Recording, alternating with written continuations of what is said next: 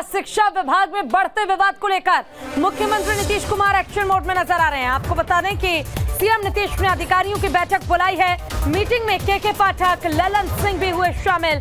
मंत्री विजय चौधरी भी थे। बैठक में मौजूद। बैठक के बाद बाहर निकले के के पाठक और ललन सिंह। इस वक्त की ये बड़ी और अहम जानकारी हम आपको दे रहे हैं पटना से, जहाँ शिक्षा विभाग में बढ़ते विवाद पर नीतीश कुमार एक्शन मोड में नज़र आ रहे हैं। उन्होंने अधिकारियों की बैठक बुलाई, जिसमें ललन सिंह भी शामिल हुए। ज़्यादा जानकारी के लिए हमारे संवाददाता सनी हमारे साथ जुड़े हुए हैं। सनी, शिक्षा विभाग में बढ़ते विवाद को लेकर एक्शन मोड में सीएम नीतीश कुमार है। बैठक हुई है, क्या कुछ जानकारी इस बैठक को लेकर? जी देखिए विवाद इतना बढ़ चुका है कि लालू प्रसाद यादव को इसमें हस्तक्षेप करना पड़ा।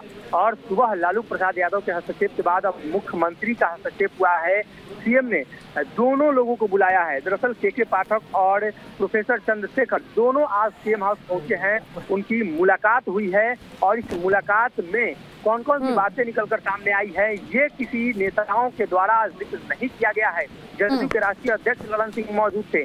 विजय चौधरी मौजूद थे। बयान देने से बचते हुए नज़र आए हैं और सबसे पहले प्रोफेसर चंद्रशेखर मुलाकात कर निकले उसके बाद जदयू के राष्ट्रीय अध्यक्ष निकले उसके बाद विजय चौधरी निकले और सबसे अंत में के के पाठक सीएम हाउस से निकले हैं और किन्हीं नेताओं ने किसी प्रकार का बयान नहीं दिया। हालाँकि प्रोफेसर चंद्रशेखर शिक्षा मंत्री ने स्पष्ट कहा है कि विवाद को लेकर कोई बातचीत हुई ही नहीं है।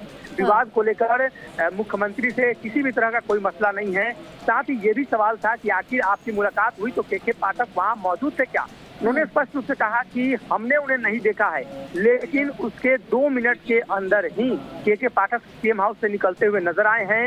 ये high level meeting CM Nitish की अध्यक्षता में हुई है और जदयू के बड़े नेता, कई मंत्री मौजूद रहे हैं। मामले निपटारे को लेकर कोशिश की जा रही है, इसलिए कि इस विवाद से सरकार की जो छवि है, वो खराब हो रही है। राजद ने कड़ा रुख अख्तियार किया था और अब मामले को शांत कराने की कोशिश लगातार जारी है कि दोनों नेताओं के बीच जो बयानबाजी जो पत्राचार हो रहा है, उसको कंट्रोल में लाया जा सके ठीक है, आपका बहुत बहुत शुक्रिया इस तमाम जानकारी के लिए।